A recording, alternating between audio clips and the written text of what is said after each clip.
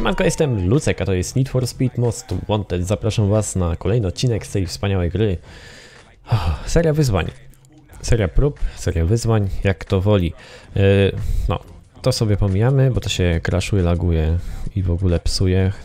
Moje psuje, że psuje. Musimy zrobić sobie wyzwanie, które trwa aż 7 minut. To znaczy, musimy e, przedłużać pościg policyjny aż o 7 minut, żeby ukończyć te to ta te u wyzwanie.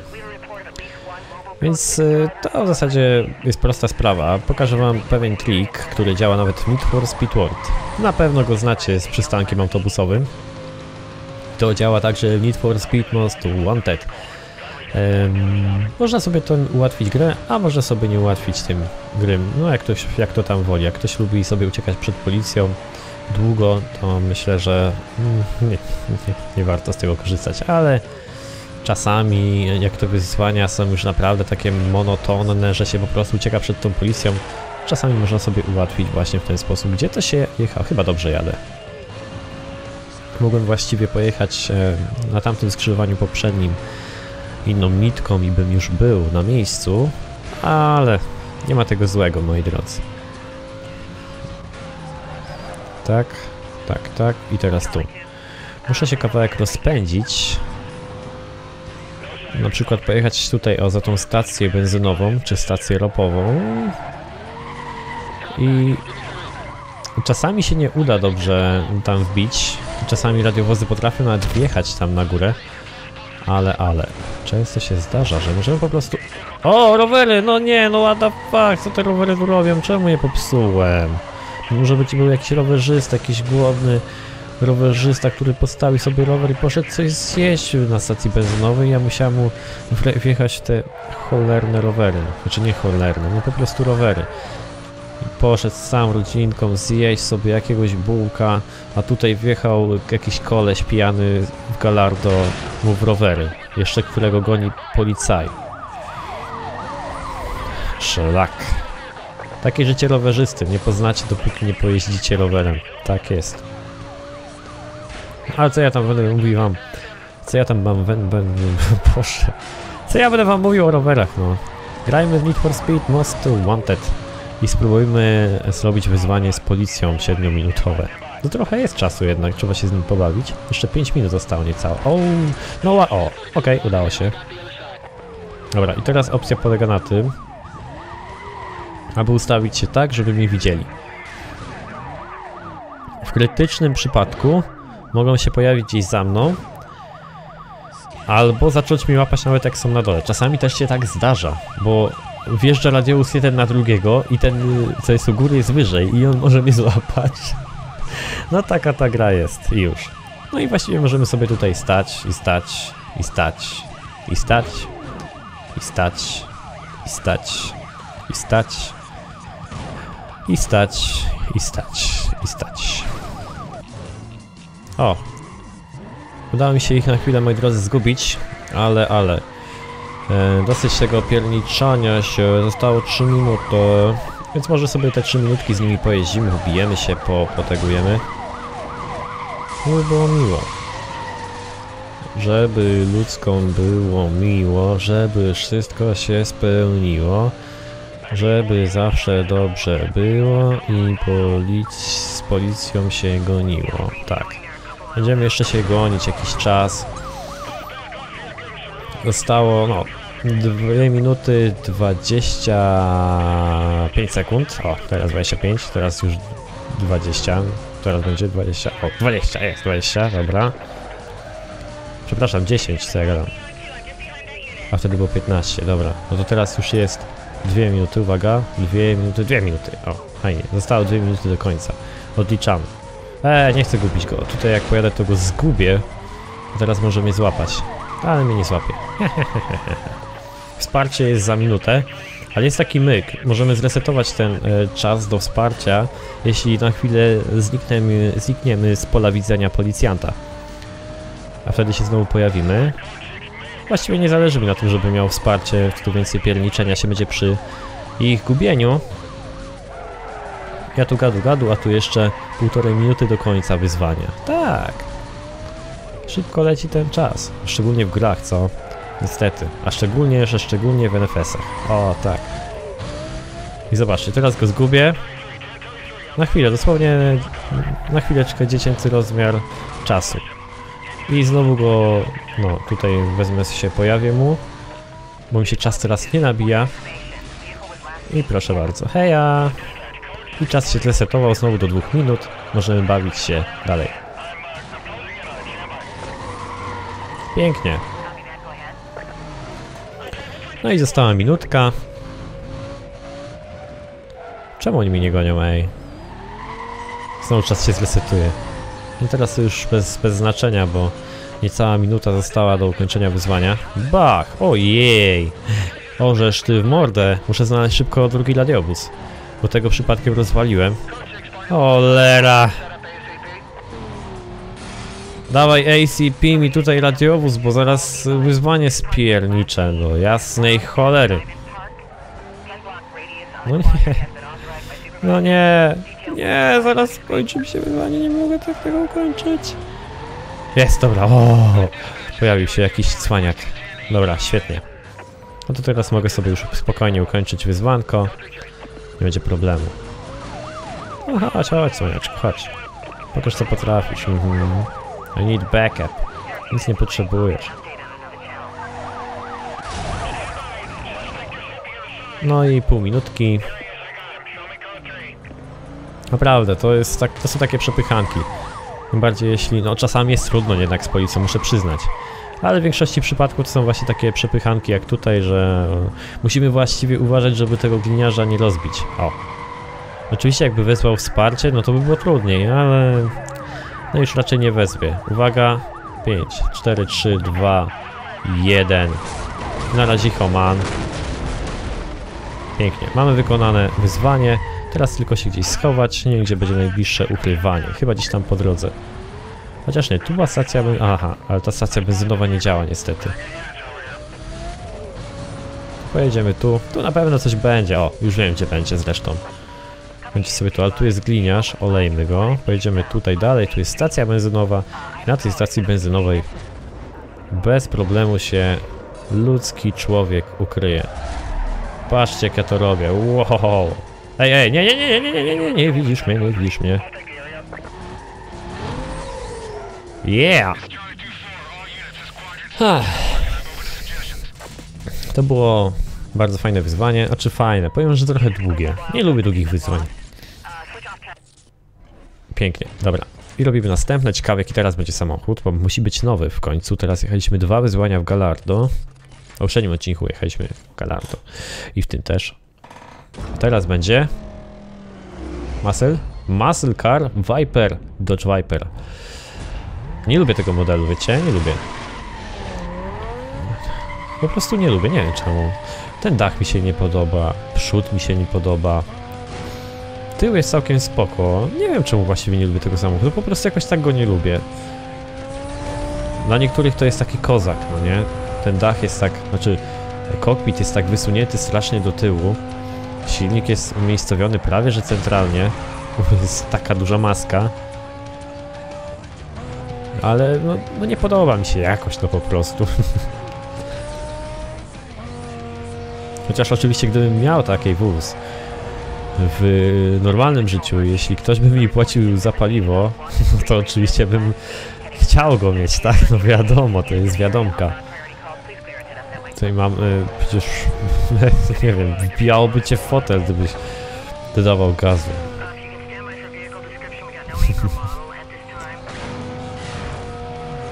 No, to by była fajna sprawa, ale ogólnie jeśli miałbym wybierać między takimi egzotykami, to na pewno nie wziąłbym Dodge'a. No ciekawe jak wychodzi z ceną. Na pewno jest droższy od na przykład konkurencyjnej korwety z tego rocznika. No to jest chyba jego taki Vipera oczywiście, bezpośredni konkurent. Tak mi się wydaje, ale pewności nie mam. No musielibyśmy to gdzieś sprawdzić, zweryfikować. E, wiecie co denerwuje? Ja gram teraz oczywiście na maksymalnych ustawieniach graficznych i robi się powoli e, taki jakby półmrok w tej grze. To jest uzależnione pewnie od chmur, które są nad nami. Mm, W tej grze panuje wieczny dzień, bo poprzednikiem e, Need for Speed Most Wanted 2005 był Need for Speed Underground 2, gdzie była wieczna noc. Więc tu mamy cały czas dzień. I gdy robi się tak półmroczno, właściwie nie widać, że mamy włączone światło, przynajmniej nie widać tego na asfalcie nawet. Co jest trochę, no, dziwne. No teraz już zobaczcie, przejechałem sobie, do tunelu, jest tutaj całkiem jasno. Nie zmieniła się nawet, nie zmienił się kolor, kolor światła się nie zmienił w ogóle. Mimo, że w tunelu mamy inny kolor światła, bo są to światła żarowe. Albo jakieś po prostu inne niż y, jest na zewnątrz. Ale przejechałem sobie przez tunel i już mamy w ogóle inną pogodę. Więc tak to wygląda. Jak mi się jeździ tym Viperem? Mm, no nie wiem, całkiem nieźle. Nie powiem, że jakoś tam tragicznie. Skłamał. Skręca w porządku, nie jakoś tam hardkorowo, ale też nie ma się do czego przyczepić. O, całkiem spoko sobie radzę w nim, także nie mam tutaj zastrzeżeń. No, Okej, i tutaj zaraz będzie koniec wyzwania. Pięknie. No na razie sobie radzę, myślę, że bardzo dobrze z tymi wyzwaniami, co? Nie było jeszcze chyba takiego przypadku, gdy bym, gdzie bym czegoś tam nie ukończył. Chociaż jedno tam chyba musiałem e, powtórzyć, ze względu na to, że nie udało mi się zgubić policji w określonym czasie, co było dość e, dziwne. No tak jakoś się zagadałem, po prostu tak wyszło. Okej, Dodge Viper. Teraz Viperem będziemy, będziemy uciekać przed policją. Musimy co najmniej 6 blok, blokad drogowych em, przejechać, rozwalić, czy po prostu przebyć, żeby wykonać em, kolejną próbę. To myślę, że nie będzie takie trudne zadanie, chociaż e, mam poziom trzeci poszukiwań i może tych blokad drogowych nie być aż mm, tak dużo, więc e, wykonywanie tego e, wyzwania może trochę potrwać, ale chyba nam się nigdzie nie śpieszy, co? 6 blokad, to dosyć sporo, tym bardziej, że jeszcze do tej pory nie było żadnej. No ale też króciutko jadę, pół minuty. Dobra, wiecie co? I zrobię tak, będę jeździł sobie tutaj dookoła ronda, zobaczymy ile blokad uda mi się zaliczyć.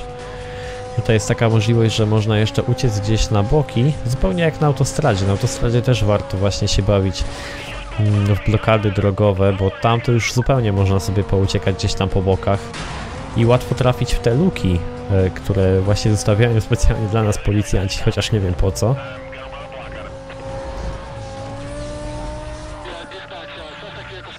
Strasznie w Need for Speed World lubię sobie jeździć tutaj dookoła tego ronda, czy raczej dookoła college, bo tak to się nazywa, Rosewood College, bo tutaj jest po prostu college. tak, tu jest szkoła, tu się ludzie uczą, sobie śpią, to jest w ogóle taki wielki kampus i chyba połączony też z jakimś... em,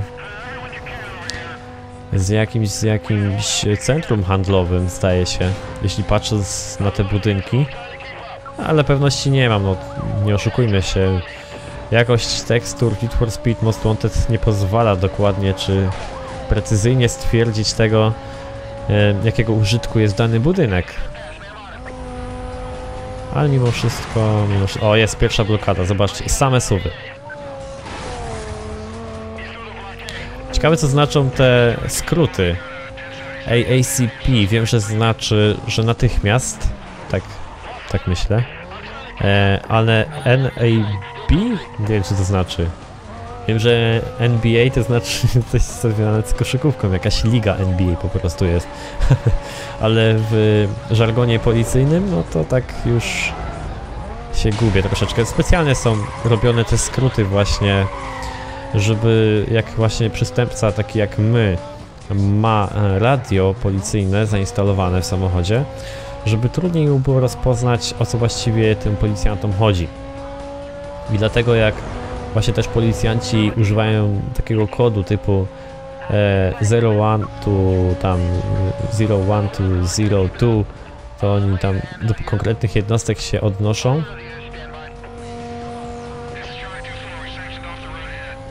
No. Także używają też takiego specjalnego kodu e, policyjnego, dzięki któremu mogą pozostać tacy bardziej undercover. I trudniej nam jest rozpoznać dokładnie o co im chodzi do cholery.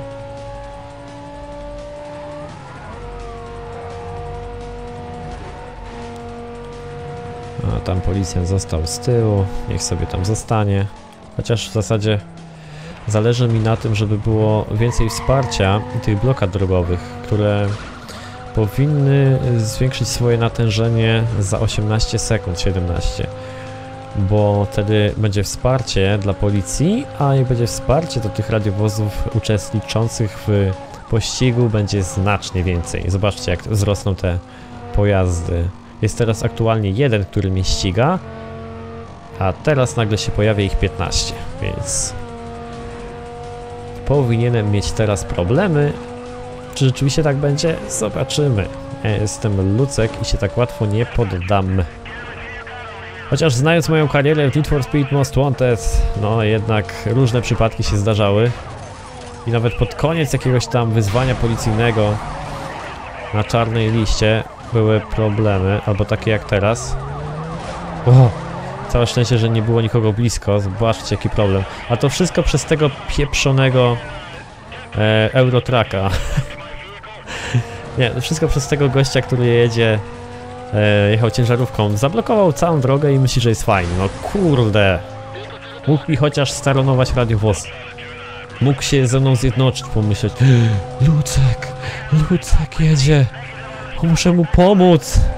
I włączyłby jeszcze tank moda, żeby totalnie im dopieprzyć.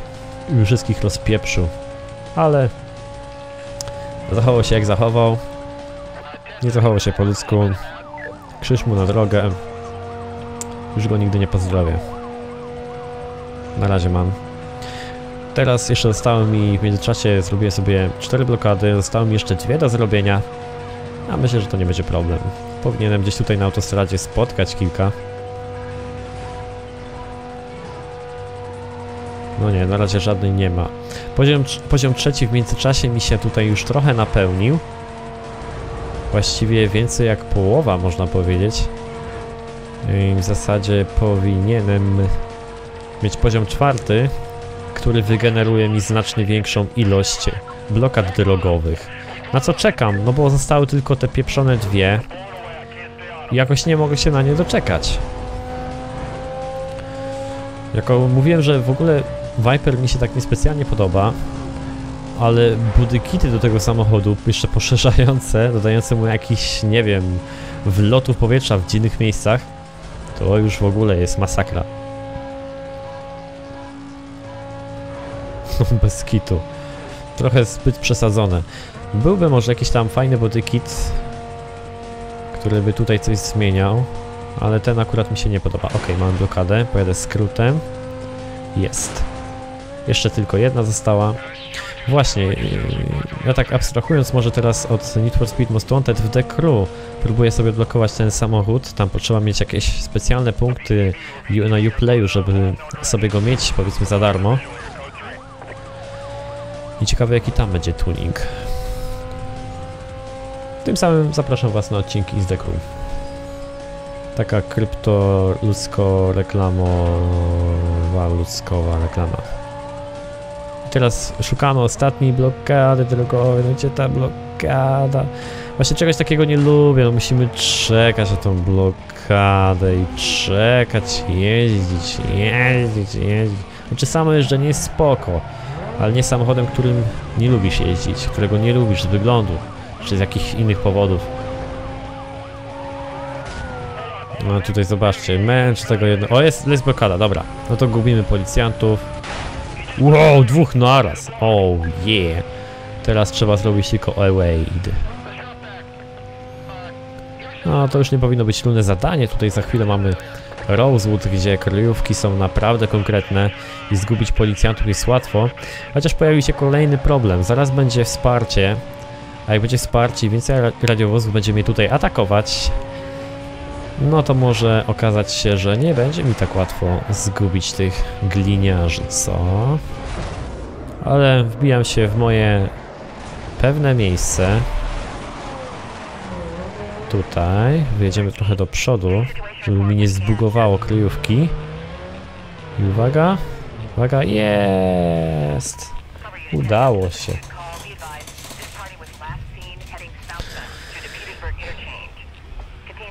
Pięknie.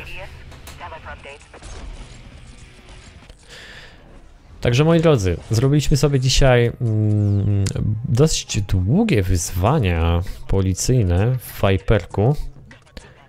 Em, no i cóż, w Viperku jeszcze chyba czas pościgu, tak, no to by, byliśmy jeszcze w Cadillacu. O, Cadillac był tam jeszcze. Następne wyzwania to będzie oczywiście następny samochód i zapraszam Was na kolejny odcinek. Trzymajcie się i do zobaczenia na razie. Pa, pa!